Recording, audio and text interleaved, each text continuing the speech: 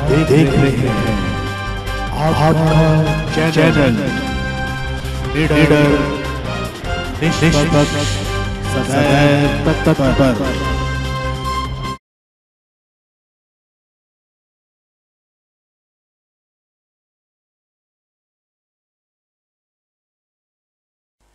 Overloading के कारण आए दिन प्रदेश में कहीं ना कहीं हादसे हो रहे हैं।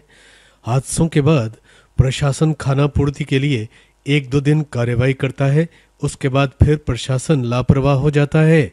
बुधवार सुबह डीएवी स्कूल रहन की स्कूल बस हादसे में इसी स्कूल की बच्ची की मौत हो गई थी।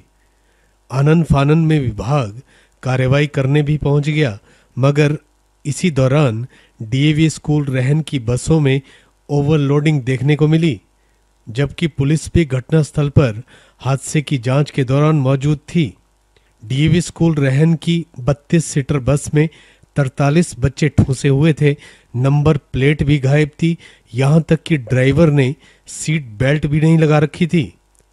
ये सारी रिकॉर्डिंग मीडिया कर्मी ने पुलिस प्रशासन को बताई। तब कहीं जाकर पुलिस ने मीडिया के सामने खाना पूर्ति के लिए इस बस का दो हज़ार रुपए का चलान किया और उसके बाद इस बस को ओवरलोड ही जाने दिया। इन रसूखदार स्कूल मालिकों के आगे पुलिस भी बौना साबित हो रही है। स्कूल की प्रिंसिपल ने पहले तो इस ओवरलोडिंग की बात को नकार दिया, मगर वीडियो देखने के बाद अपनी बात को बदलते हुए कहा कि उन्होंने अपने स्टाफ को ओवरलोडिंग न करने की हिदायत दे रखी है। इस मामले पर कार्यवाही अमल में लाई जाएगी। ऐसा है कि थोड़ा सा हो सकता है बच्चों को। पर ओवरलोडिंग तो का तो हमने पूरा ध्यान दिया है। ओवरलोडिंग तो नहीं थी, लेकिन उस बस की बजाय हमने दूसरी बस में बच्चे भेजे हैं तो थोड़ा सा बच्चों में, लोगों में दहशत हो गई है, लेकिन ओवरलोडिंग तो हम कभी भी बस में नहीं करते।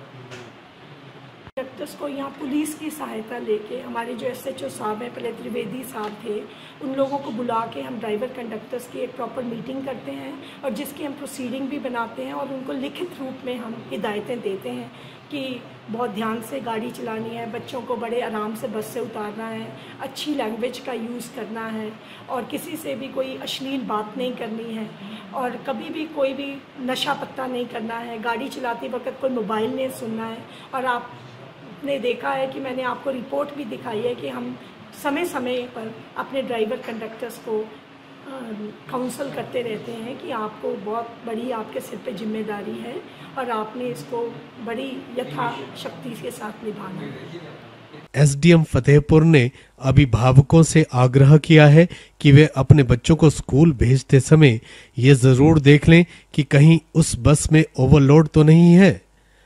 और यदि है तो इसकी सूचना प्रशासन को अवश्य दें। ओवरलोडिंग करने वालों के खिलाफ सख्त कार्यवाही की जाएगी। ओवरलोडिंग के में जो ट्रैफ़िक चेकिंग जो हम समय समय पर करते रहते हैं, और अगर ऐसा वाहन, खासकर जो अगर स्कूल से संबंधित अगर भविष्य में ऐसे जो उसकी उल्लंघना करता हुआ पाया अगर पाया जाता है या ओवरलोडिंग करता हुआ पाया जाता है तो उसके विरुद्ध जो है अनुसार नियम के अनुसार कार्रवाई कुछ भी हो, इस ओवरलोडिंग के मामले ने स्कूल प्रबंधन द्वारा कानून की धज्जियाँ उड़ाने की बात को साफ़ कर दिया है। पुलिस प्रशासन चालान काटकर अपना पल्ला झाड़ लेता है और ओवरलोडिंग करने वाले पुलिस के सामने धड़ल्ले से ओवरलोड बसों को दौड़ाते रहते हैं। इंदौरा जिला कांगड़ा से आपका चैनल के लिए गगन ललगोत्रा की रिपोर्ट। आप देख रहे हैं आपका चैनल। प्लीज़ सब्सक्राइब करें और साथ ही बेल आइकन को भी दबाएँ ताकि आपको मिलती रहे हमारी हर अपडेट की नोटिफिकेशन